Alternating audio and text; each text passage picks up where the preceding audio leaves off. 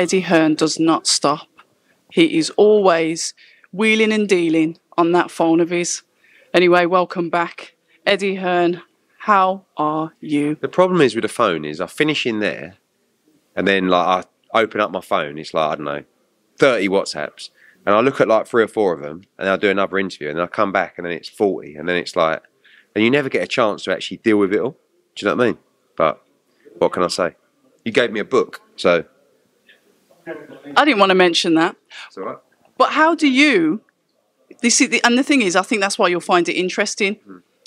You're someone, a businessman, that likes things done properly. Hmm. Your father taught you that. You sat on his knee, you learnt the tricks of the trade, hmm. and you're carrying that on now. Bigger things have come from it.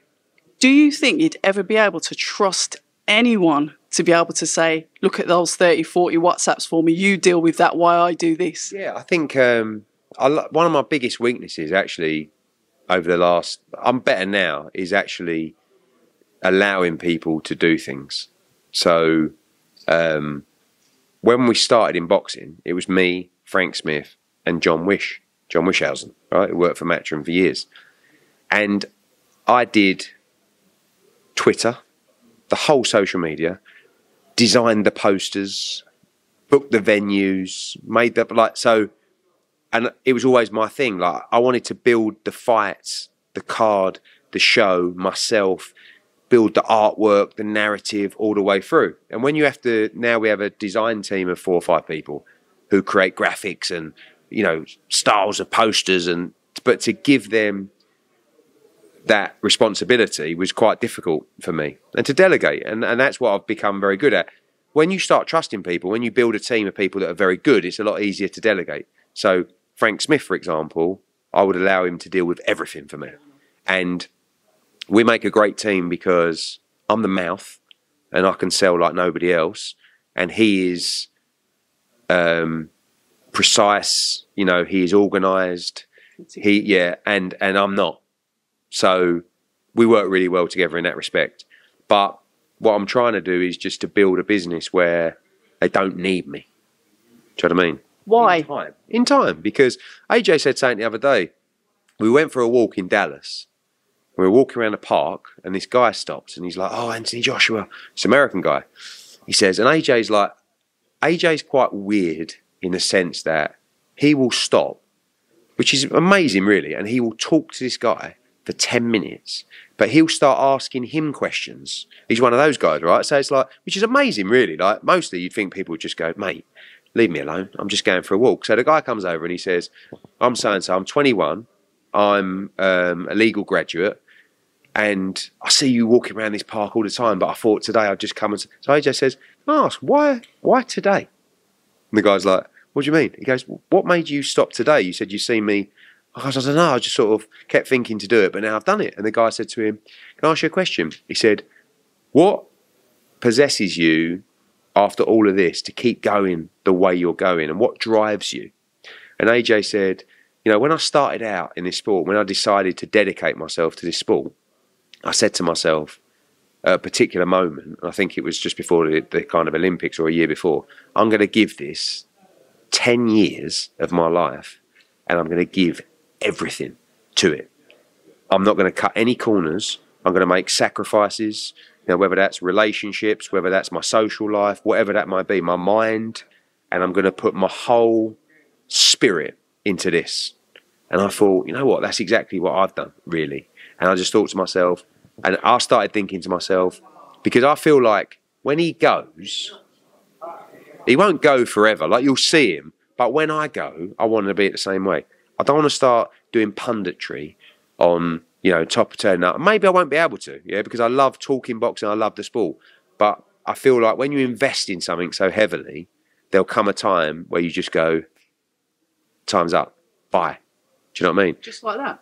Yeah, not not, not just I won't wake up one morning and go bye, but I, I think like when my old man's seventy five, right? He's supposed to have retired. He's in the office nearly every day. Like he can't. And I look at like Arum, I look at Warren, and I just think, nah, not for me. But maybe it'd be difficult to walk away. But w- the way I'm playing it in my mind is, I'm knocking my cods out every day. Can't give any more. Like, and because I'm thinking, soon, Not like next year or whatever, but soon-ish, you'll be done. Do you know what I mean? So give it everything, and then when it's done, that's the difference between me and my dad. My dad will stay at it. Go, I'm going. I actually want to, not disappear, but I want to go and live life. I want to like I, I haven't been able to do things like what I wanted to do, but I've lived a great life and I've done something I believe in, which is more powerful than anything. But at the same time, the aggravation, like it's it's a very taxing business. Boxing, very taxing business. And I actually learned something the other day around this event, which was you mustn't let anyone dim your flame, right? Or put your fire out. Because when this fight was announced, like when this fight got made, I'm like sitting there going, Jesus, it's AJ against Dillian at the O2. This is massive. This is what British boxing needs actually right now. This is what Matchroom need. It's what DAZN need. This is massive. And you like you go online and it's like the usual Twitter, like, oh, this this is a joke fight. This I'm thinking, wait a minute, like AJ, you, you want to see a joke fight? You should have seen some of the fights I was putting forward to AJ. Right? We're fighting Deontay Wilder in December, and he's having an interim fight against Dillian. Like it's a what a brilliant fight. And then I start reading too much online. Now I sat down with Frank Smith like four days ago. I was like, oh, do you think it'll sell out? And he's like, yeah. I was like, I don't know, because like I've read a bit, you know, it seems to be a bit of negativity. And he's like, mate, we've just done the pre-sale. There was seven thousand people in a queue in the pre-sale for like fifteen hundred tickets. Like this fight is it, and obviously today we sell out in a couple of hours. I'm like, stop. You know, you mustn't let people dim your light. If you believe in something and you're good at what you do and you work hard, nothing should get in your way. But it's very easy to let negativity creep in and doubt yourself. And I think that's a good lesson to me. It's very unusual for me to do that, actually. It's a bit, bit of a weakness. But I don't mind saying it because I think it's good for others to understand as well. If you believe in something, don't let someone who doesn't really want you to succeed or doesn't have any ambition themselves drain it out of you. So you just turn around and go, nah, do you know what? We won't make that fight or we'll do it in a smaller venue. Or, you know, because it was that same ambition that got me to where I am. Like when we did Froch Groves, I just went, like, fucking let's do Wembley. And everyone's going, like my dad went to me, don't do Wembley. Like, are you mad? And I went, no, no, we'll do it. Come on, bang. And next thing sold it out. Like, if I went in with that attitude from last week, maybe I would have gone, oh, actually, let's go back to MEN. And that's, you know, got to be careful. So I won't be doing that again. No, but it's interesting that you say that because it's kind of like you and Anthony Joshua have got sort of like a parallel career, mm. different, yeah. but parallel. He was in his last fight, he said, I'm more cautious. I've got to think about risk, which is exactly what you've just explained, as in getting these fights made. There's that just that little bit of doubt where you've got to be a little bit cautious. It comes with maturity, I guess. Yeah, but it also comes with building something. Like at the end of the day, like if you don't have a lot or you're willing to roll the dice more. And that's the same with fighters. You know, all of a sudden they build up a legacy, they build up belts, they build up the ability to earn money. They want to take less risk.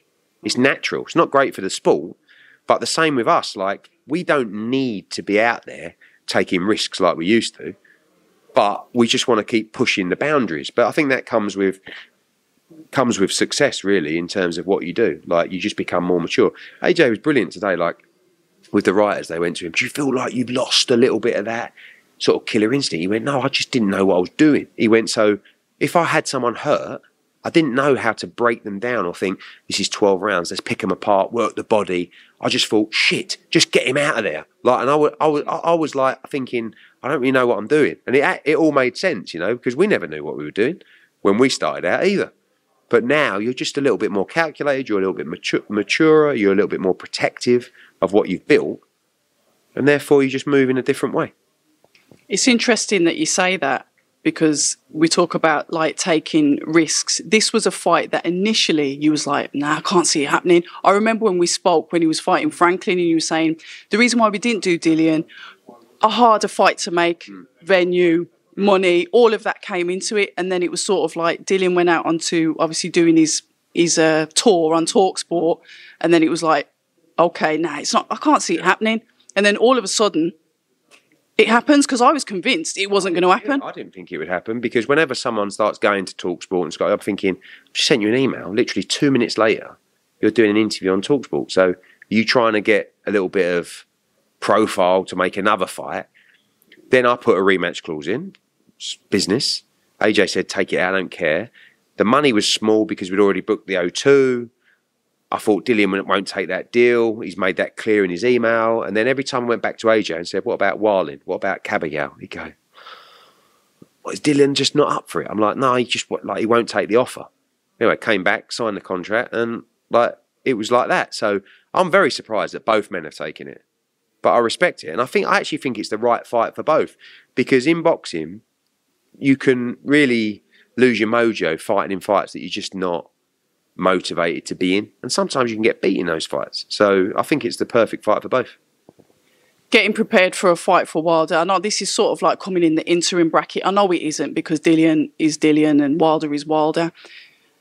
Would you have preferred if there was no fight in between now and December? Only because possible injury risks that will push the fight back. You saying that, you know, basically that big offer might not be there should AJ not win.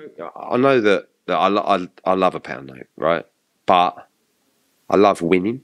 All right. And I don't, although the Wilder fight will make AJ a lot of money and therefore me a lot of money, I want him to win that fight. And I know that if he can go in with momentum, with another fight under his belt with Derrick James, with victory over Dillian Whyte, he will be in a much better place to win that fight. And we've we've we've got to a stage with AJ, like he's made enough money. Do you know what I mean? Like, and I think part of his mindset of taking this fight was if I can't beat Dillian Whyte, I don't think I can beat Deontay Wilder. And therefore, if I lose, I lose. And I deserve to lose. But if I beat him, I think I can knock Wilder out. And I think, you know, and it's difficult because I've worked with Dillian for a long time. Everyone knows, like obviously AJ, we're, we're close with him. But I wish both guys the best, and I think the winner will fight Deontay Wilder. But I just like AJ's mentality here of many fighters would have gone, oh, no, just leave it, just go on holiday and then start training in like September. But he was like, no, I want to fight.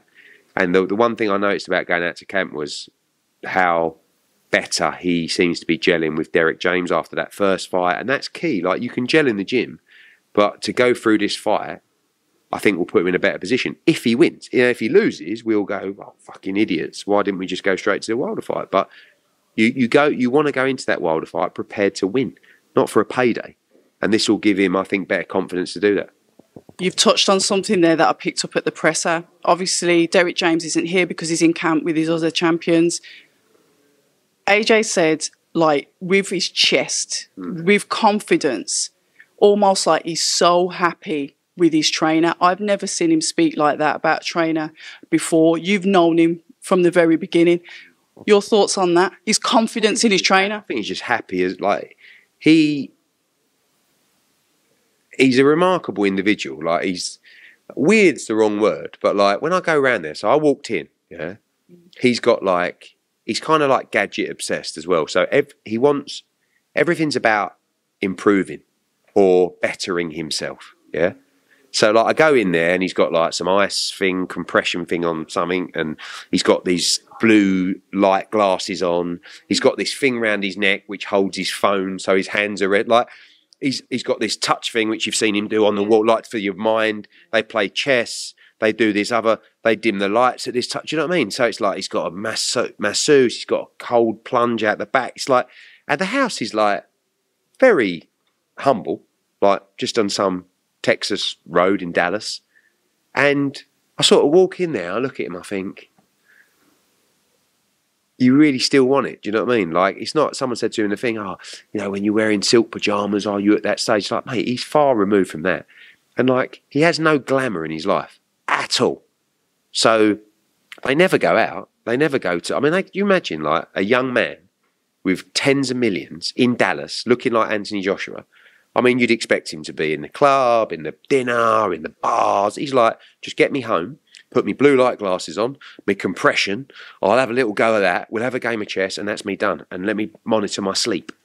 Do you know what I mean? So to do all that, you must want it so bad still, which is a great sign. But I find him, I've always found him fascinating. Always found his energy so good as well. Like being around him sometimes, tired and low. Whenever you leave him, he's sort of like, you know, he's just a good guy. Good guy, funny guy, but made unbelievable sacrifices to get to where he's got to. And when you hear him talking about, I'm just starting to get it to understand boxing. Like you're thinking, fuck me, you. I think maybe I'm biased. I think he might be able, might be about to flick a little switch in his career of actually dominating fights, beating people up, looking good, having the confidence to do that. Because he said, when I fought Dillian before, I didn't even know how to defend. He said, I was like, I just thought, fuck, just he's hurt, just get him out of there. I didn't, I, I, I, I didn't think I'd go 12 rounds. So I just thought, fuck, just let the kitchen sink go. And he said, then I'd do that and I'd gas in fights because I just didn't know what I was doing. And now he actually, he's a student of the game. But listen, heavyweight boxing, anything can happen. The standard of fighter, it seems like he's set a bar. So when you see somebody that has had how many fights, defenses, won, lost, won, lost, where does that set the bar for the type of fighter that you want in your on your team? You said that you've got some spare Canelo money now, Yeah, yeah. so you can invest in fighters.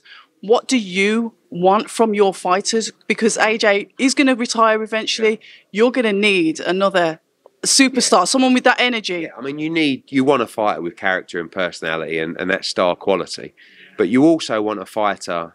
I love fighters like I don't know Rocky Hernandez, right? This is a Mexican kid who boxed at the weekend.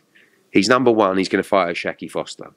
He's like 29 and 1, 28 knockouts. And he's like, he don't really speak English, but he just says, boss, just put me in. Put me in. You know, and I'm thinking, fuck me, you are a right handful, you are.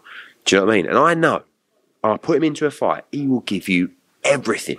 Do you know what I mean? Not, oh, you know, I'm not really feeling it at the moment in camp, and oh, you know, I'm, it's like, he's just like, just let me at him, you know, and I love that. So, I'm not saying everyone's like that, but just people who, tough fuckers. Do you know what I mean? Like, that's what you need to make it in this sport. You've got to be a tough, tough fucker. You've got to be fit. You've got to have power if you can. You've got to have a good chin. And you've got to have a great mentality. And a lot of these Mexican fighters have all that. Where they lack is their discipline. So when they make money, life changes, and that's where they're not as good. Lara's a great example, you know, and and hundreds of Mexican fighters in the past.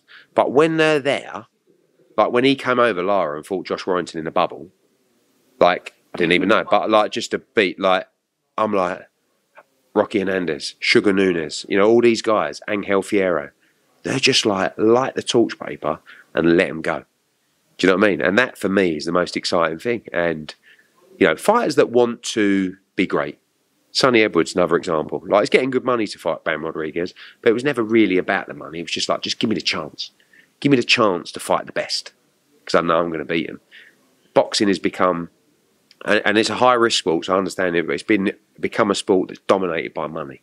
Decisions regarding money. That's why I like Dillian's decision here because he's not getting the right deal if it was a stadium final. He's getting the right deal for the O2, but there is more money in the pot if we waited another six weeks and we built it right. But in the end, it was like, mate, that's the money. And it was like, fuck it, I think I can win. Let's go. That's, re- that's really refreshing to see rather than a, an agent phoning me up trying to get another 250 and like, it's not there. And it's like, ah, and it's, then you slow it down and he pisses you off and then it's like, you end up taking another fight. Both these guys just went, yeah, like, neither of them are earning the money they could have earned if it was at Wembley or this, but they just went, yes, a good fight, let's go. Like, not being funny, when you got that kind of money, does it really matter? I mean, that's when you talk about Fury. Like, he's turned down, I don't know, 70 or 80 million to fight Usyk. Like, does it really matter if you didn't get 90, but you got 80 or 7? Like, do you know what I mean? If you're going to, but that's, yeah, that's where sport becomes frustrating. But we have a lot of stuff online and there's transparency. There's so much transparency when it comes to how boxing business is run before social media. Hmm. I'm not saying There, things there that is, but there's also so much bollocks. I mean, I had a conversation with someone the other day, and they went to me. They said to me, "I've heard, right, four different things, most of them about my fighters," and I'm like, I can't believe people are actually saying that about someone about this person's left that trainer, they're about to sign with that trainer. It's like total bollocks, right? I'm like, people just waffle absolute rubbish. That's what I'm saying about dimming your light. Just focus on what you believe in, what you know, and don't start. Always learn, but don't worry about listening to someone you know, no disrespect to someone who works in a post office, but you can't start edu- telling me what sells and what doesn't. And like I can't tell you the best way to send a special delivery. Do you know what I'm saying? That's your field. You're the expert. Believe in what you do. Trust yourself and work hard. This is what I do. Doesn't mean I won't let people take give me advice or I won't take things in, but just focus. And that's the problem now with social media. Everyone's an expert, like, and they don't know, like, you know, it's like Simon Jordan. No, now he's bright, he's intelligent, but I don't mean to be rude. But don't try and educate me about my business that I worked in all, virtually all my life, and I live and breathe it twenty four seven like when he had his phone shops or whatever, I wouldn't come to you and say, "Oh, I reckon this plan's better than that," or, or whatever. So, but it's easy to get discouraged in life by people making you doubt yourself. So, don't doubt yourself. I could talk to you for 780 years, but I know you're all talked out. And you've given me 21 minutes of your time, which is brilliant. Yeah. And as per usual, I'm grateful. Hopefully, I'll see you fight week. You're the one that always opens up the door for me, and I really do appreciate your No time. Thanks for the book. I'm off to LA and Detroit, and I'll start reading it on the plane.